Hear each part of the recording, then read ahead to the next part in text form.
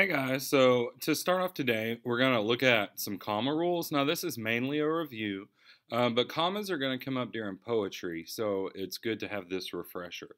So a question on a test um, might be about how is the comma being used. So here are just four rules to remind you. So commas can separate two independent clauses. Mr. Edwards is out today. That's an independent clause because it could be its own sentence. The class has a great substitute. That's an independent clause because it could be its own sentence. So you combine the two independent clauses with a comma and a fanboy. So here the comma is functioning by separating independent clauses. Here, after calling into Frankfurt, Mr. Edwards created a video lesson for his students. That set off the introductory phrase of after calling into Frankfurt.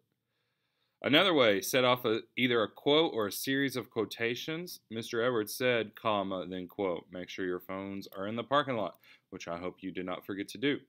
So uh, that is another comma rule. The fourth comma rule to separate items in a list. So the students are learning about ballads, comma, commas, comma, and refrains. So like I said, the test might appear, a question might appear like, what would be the effect of inserting a comma between the words word A and word B uh, could be bringing up these other things that we'll see once we start our poetry, but it could also, your four answer choices, for instance, the practice that we're doing today, your four answer choices are going to be these, and you are going to decide how the comma is being used.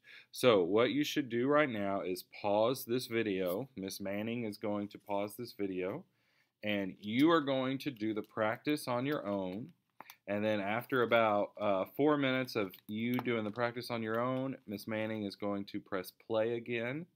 Um, and you are going to go over the answers. So everybody should be pausing the video and doing the practice right now.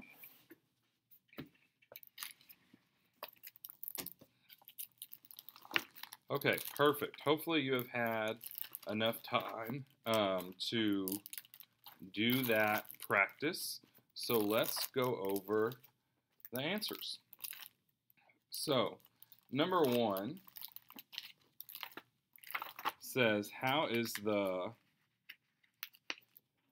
what is the primary function of the comma in this line? So number one, after the game we went to the arcade, that is to set off an introductory phrase, B. Number two, Henrietta asked, Do you want to go with me? You see the quotation marks?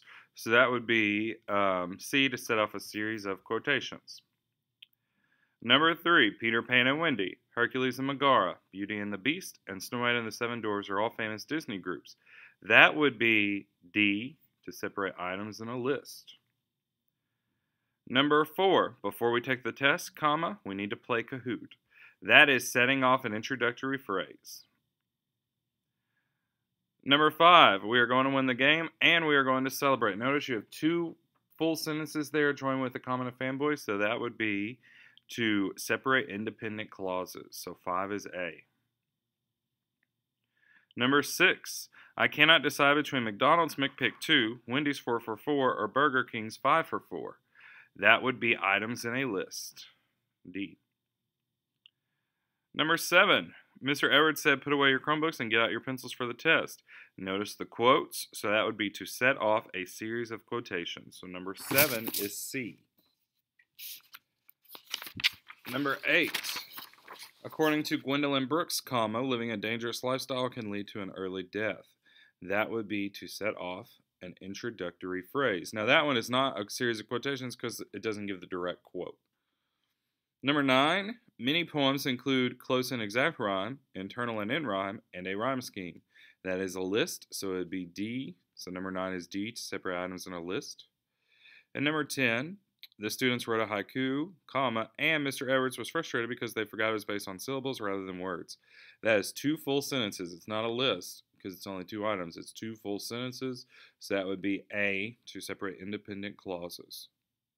So what you're going to do now is quietly and individually open up your Chromebooks to the commas exit slip on the daily agenda log. You're going to do that exit slip. When you are done with that exit slip, you're going to close your Chromebook to show Miss Manning that you are done. You have a lot to do after this, so you need to do this quickly. It should take you no more than three minutes. Thank you.